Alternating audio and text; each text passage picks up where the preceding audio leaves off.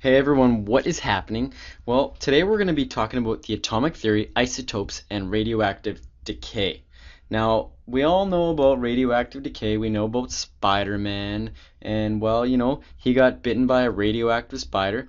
It doesn't really happen like that, but you never know. So watch out for radioactive spiders. Radioactivity is the release of high energy particles and rays of energy from a substance as a result of changes in the nuclei of its atoms. So we can use radioactivity to improve our lives, such as through medical diagnosis and by generating electricity. Natural background radiation is a stream of high energy, fast moving particles or waves that are found in our environment. Radiation refers to high energy rays and particles emitted by radioactive sources. Radiation includes all types of waves in the electromagnetic spectrum. Light is the only form of radiation that we can actually see. And if we look at this spectrum here, this is the only wavelengths that we can actually see, which is pretty crazy. There's all this other radiation around us that we can't see, but it's there. So in 1895, uh, German physicist Wilhelm Röntgen discovered that a new form of energy was emitted from certain substances when he bombarded them with electrons. So basically, he shot electrons at certain substances and they uh, they emitted energy. All right. Um, these invisible rays will be able to make changes to photographic film um, the way regular light can. He called the newly discovered rays X-rays and later Henry Becquerel uh, discovered by chance that uranium salts emitted rays that changed photographic paper. Um, basically, he had some he was um, had some uranium and he had some film by it, and he noticed that the film was uh, changed. So he had some hunches about the fact that uranium would be giving off some sort of radiation, which is pretty cool. So it was pretty much by chance. Um, Marie and Pierre Curie continued Becquerel's work isolating the uranium atoms from the salt sample. They identified two new elements, polonium and radium. Marie Curie later died due to radiation poisoning. So, we're on to isotopes and mass number. Now, we talked about isotopes being different versions. Um, so, isotopes are atoms of an element that have a different number of neutrons in their nuclei, but they have the same number of protons. That's really important to remember. Now, I like to think about this as um, like the video game Black Ops or Call of Duty. So COD, you've got like version 1, version 2, version 3, version 4, and who knows, they're going to continue on. So it's the same video game with the same premise, but they're different versions. So that's just like isotopes in an element that they'll have the exact same name, so Call of Duty, but their version is like Black Ops or the other one. I don't know. All right.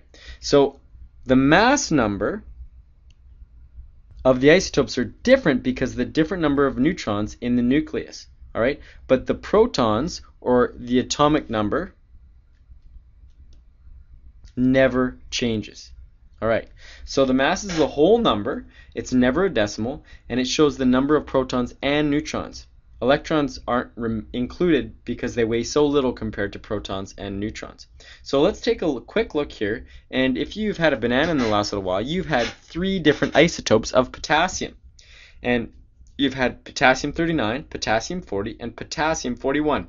You'll notice these are all different versions of potassium. And we write it a certain way. So we've got potassium there. We've got potassium 39. We've got potassium 40. And we've also got potassium 41. You'll notice that the top number tells us the mass of the isotope, and the bottom number tells the number of protons in the isotope.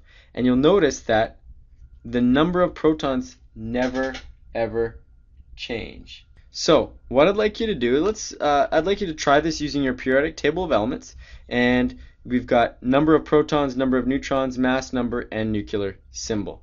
Remember that the number of protons is the key for determining that element. So if we look at neon 21, well neon always has 10 protons.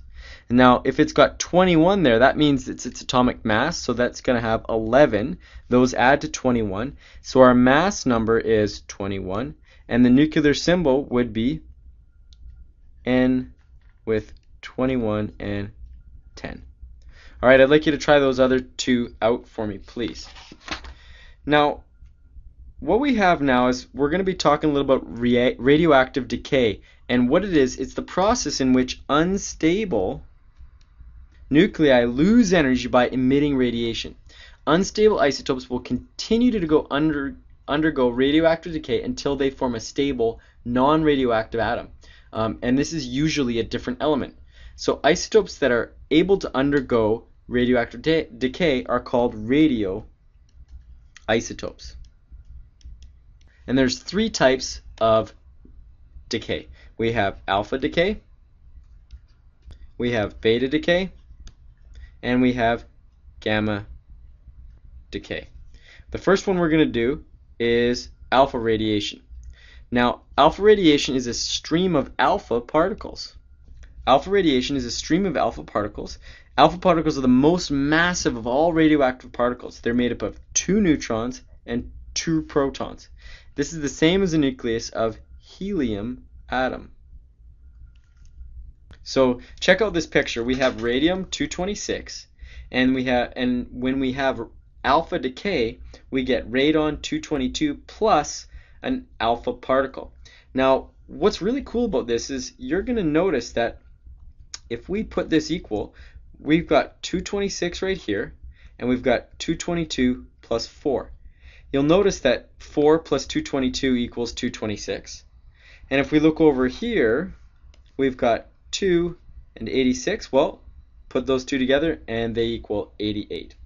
This is all about the law of conservation of mass. Alpha particles are often represented by writing as a 4 and a 2 with an alpha symbol or a 4 and a 2 as a helium atom. All right, they're not very penetrating article, particles, and they're able to be stopped by a piece of paper. So get out your paper hat, hats, and you'll be protected. Let's try this first one example. So we've got polonium there, and we're going to get some alpha decay. Well, we know that 4 plus something equals 208, so we've got 204 here. And 2 plus something equals 84, so that's going to be 82. And we know that if we look on our periodic table for 82 as our atomic number, we get PB, and that is lead. Try those other ones on your own. Have a good rest of the day.